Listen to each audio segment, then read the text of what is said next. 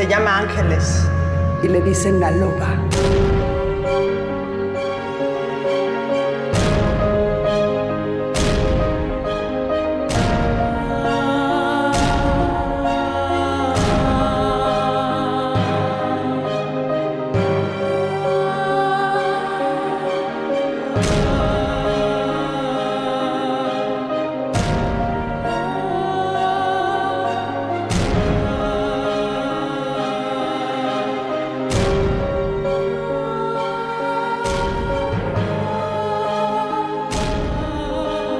Thank you.